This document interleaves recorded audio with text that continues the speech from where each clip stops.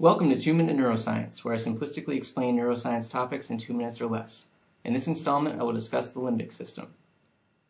The word limbic comes from the Latin limbus, which means border, and the limbic system was given this name because its structures lie along a horseshoe-shaped area of cortex that appears to be a border between the cerebral cortex and the subcortical structures of the diencephalon.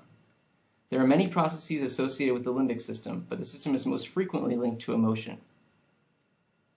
There is no consensus on the structures that are considered a part of the limbic system, and some argue that it is too much of a simplification to consider something as complex as emotion to be handled by one group of brain structures.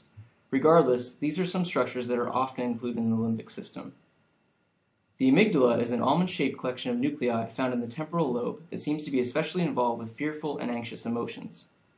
The hippocampus is next to and interconnected with the amygdala, Although it is considered part of the limbic system, the hippocampus is generally associated with memory more so than emotion. The parahippocampal gyrus is an area of cortex that surrounds the hippocampus and also plays a role in memory. The cingulate cortex or cingulate gyrus is found just above the corpus callosum and is involved in various aspects of emotion and memory. The septal nuclei have connections with a number of other limbic structures and are thought to be especially important to pleasure, reward, and reinforcement. The mammillary bodies are two groups of nuclei that are involved in memory and have extensive connections with the amygdala and hippocampus.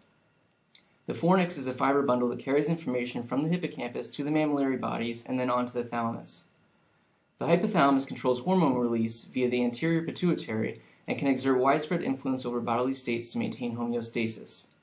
While there are other structures that may be included in the limbic system, the structures identified here are some that are commonly considered part of it.